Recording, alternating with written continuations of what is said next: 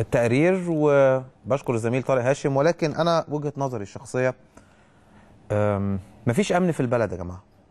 واللي بيحصل من كل الفرق اللي بت- بتروح آه، من بورسعيد بتروح بره بورسعيد ويتم الاعتداء عليها وعدم آه، تأمين أي فريق من بورسعيد من كل محافظين ومديرين الأمن في المحافظات المختلفة ده بيحط علامة استفهام لإلا هم خايفين إن هم يلاقوا نفس مصير مدير أمن بورسعيد اللي تم حبسه 15 سنة بعد أحداث مباراة المصري.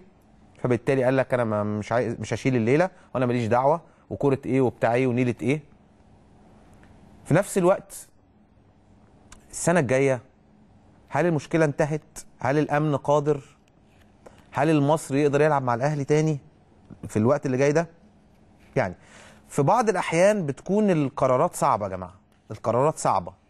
بس هل ممن طالبوا بعودة المصري الموسم القادم يستطيعوا إنه يامنوا ولادهم؟ عندهم القدرة؟ ممكن عافية بقى وبتاع كل واحد بالدراع وبتاع. لكن على أرض الواقع للأسف لا وجود للأمن مش في كرة القدم فقط في كل حتة. حتى الناس اللي مش ما فيش ضغينة ما بينهم وما بين حد تاني مش مش آمنين. ما بالكم بقى اما بيكون في ضغينة ما بين طرفين في أحداث مباراة أدت إلى مقتل 72 شاب. طيب العموم أنا في النهاية الله أعلم القرار السليم. له وجهة نظر كامل أبو علي البعض الآخر له وجهة نظر. المصري من وجهة نظري ليس له علاقة بالموضوع كان من المفترض إنه يعاقب وعوقب. لكن طبعا القصاص والقتل والحاجات دي دي قصة تانية. لكن كنادي مصري أنا بقولها لكم لو حصل ده ما بين الأهلي والزمالك لن يعاقب الأهلي ولن يعاقب الزمالك لن ينزل الأهلي للدرجة الثانية لن ينزل الزمالك للدرجة الثانية بقول لكم حقائق. و و وفي نفس الوقت الأهلي بعض جماهير التا سلاوي وبعض جماهير الزمالك والإسماعيلي بينزلوا الملعب واقتحموا ماتش الافريقي التونسي والأهلي نزل في تو- توسكر الكيني والزيسكو الزامبي ومحدش بيعرف يعمل حاجة في مجلس إدارة الأهلي ولا الزمالك ولا الإسماعيلي ولا أحد يسيطر. الأمن هو المسيطر.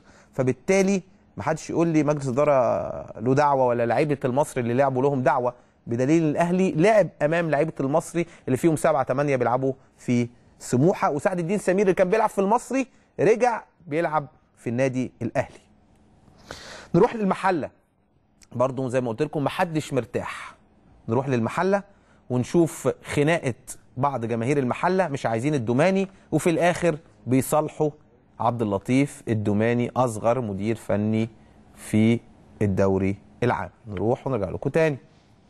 بقول رأس الحاجة دي كلها آه، فؤاد عبد العليم هو اللي سبب المشاكل من اولها فؤاد عبد العليم ده كان عندنا رئيس شركة غزل المحل تمام الأصولي استوارة حصلت والناس اللي كانت آه، آه، عليهم شبهات مشيوا الاصولي الاصولي اللي زي ده ما يمسكش منصب النهارده الراجل ده ماسك رئيس الشركة القبض الراجل اللي كان بيقوي واحد اسمه السيد خير الله. السيد خير الله ده اللي كان بيعمل صفقات من تحت الترابيزة. اللي ما كانش ليه مصلحة خالص في المحل إلا مصلحته جيبه فقط. جميع الصفقات بتحصل منه أو من تحت الترابيزة أو أو أو. وآخر حاجة حصلت موضوع الخصم بتاع لعيب معين كان عليه خصم 160 ألف جنيه. الخصم ده اتشال في ظل عدم وجود في عدم وجود فلوس في شركة غزل المحله الخصم ده اتشال ال 160 ألف. بناء على إيه؟ إن خصم زي كده فلوس مبلغ زي كده اتشال الخصم من عنده.